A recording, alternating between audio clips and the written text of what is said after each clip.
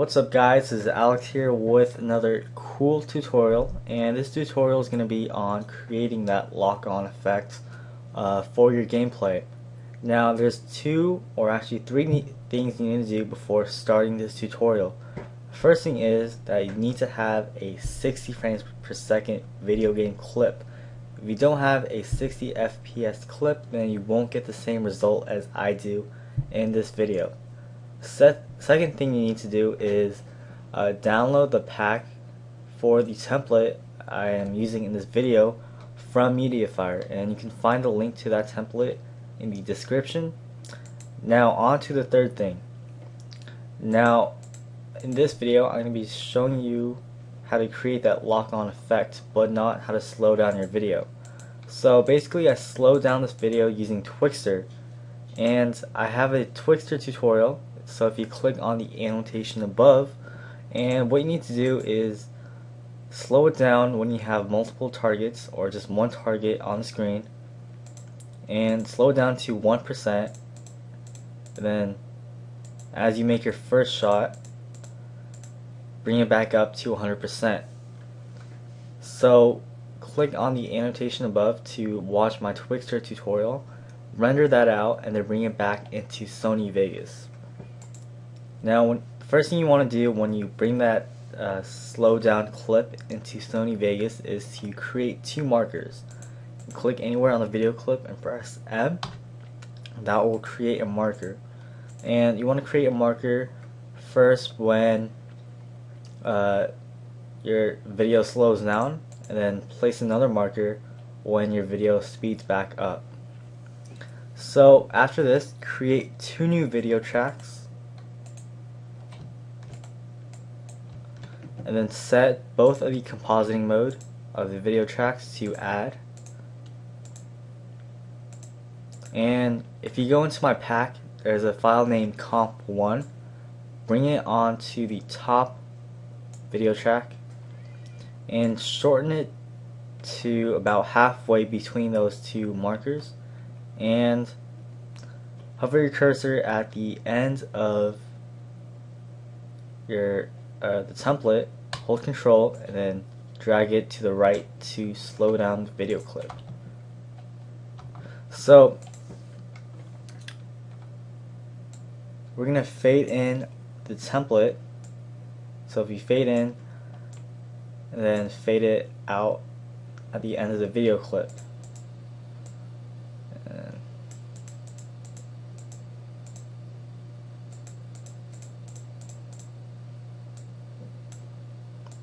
and after you've done that click on the event pan crop tool and zoom in all the way in so that's inside the circle and you can't see anything on screen as of now. Now make sure you have this sync cursor thing checked. And what you want to do is go to the end of the fade out on the first fading create a new keyframe and then bring it back about one frame and you go forward about three or five frames.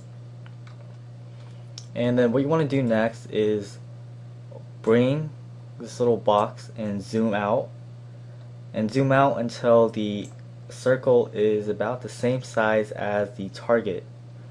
And after you've done that you want to move it so that it's right onto the target and we're going to keep moving it depending on how much your target moves. So if I go forward in the video my target's to move a little bit. And you want to change your uh, you want to change how much the circle or the lock-on effect moves depending on how your character moves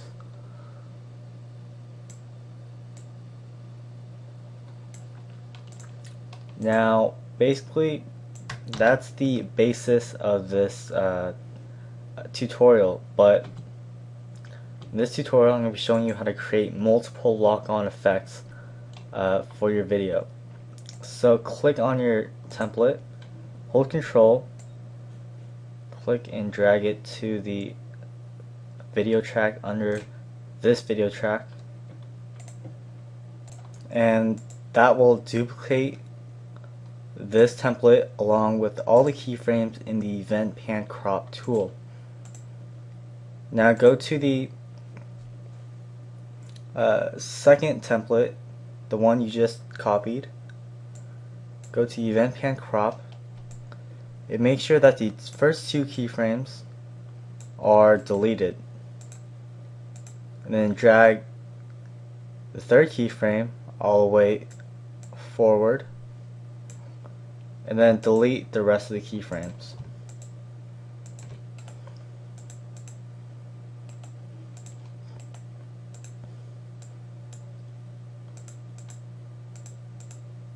And then what you want to do next is drag it to about halfway of the original template. And again, do the same process you did to uh, zoom in with your lock on effect. Except when you go at the end of the fade in, what you want to do is you're going to actually move it to your second target and then you're going to zoom out more. Depending on how far your second target is from your first target just going to make it this small. And I'm just going to go forward.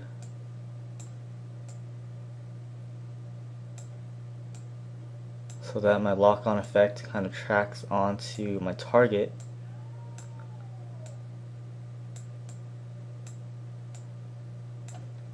And that's basically it.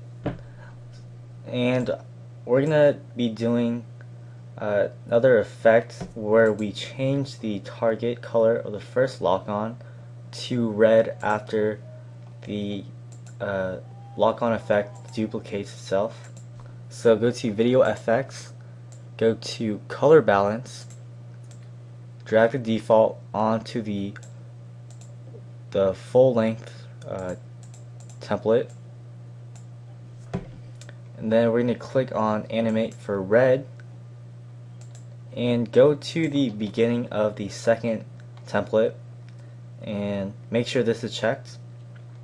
Add a keyframe and go forward towards the end of the fade offset of the second template and make sure this red value is set to its highest value. Go back and click on animate for the green select the green, make a new keyframe, go to the same position as the uh, red keyframe, and then bring this green value all the way down, and do the same process for the blue also.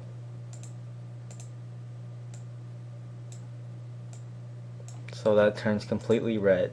So that's the basis of this tutorial. So let's preview it.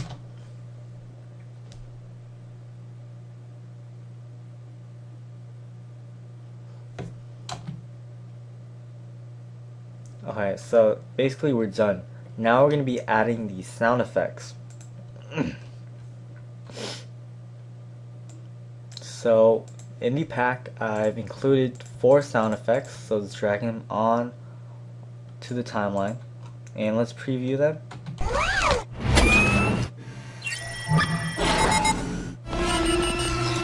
So I'm just going to use this sound effect for the target lock on. So let's preview it with the video.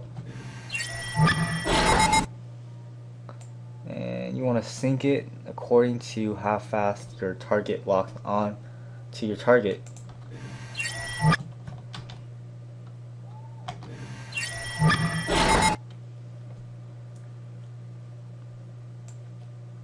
And add another sound effects.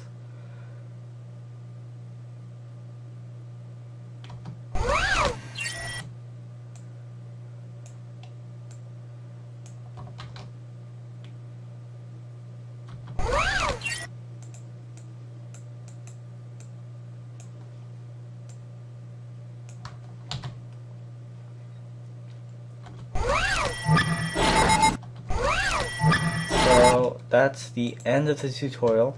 I hope you guys like this tutorial. And one thing I forgot to mention is that I've included an image for the crosshair. And basically to track this, you do the same process as you did for the lock on template. That's just one minor thing, you don't have to include this. So yeah, that's the end of this tutorial. I hope you guys like this tutorial.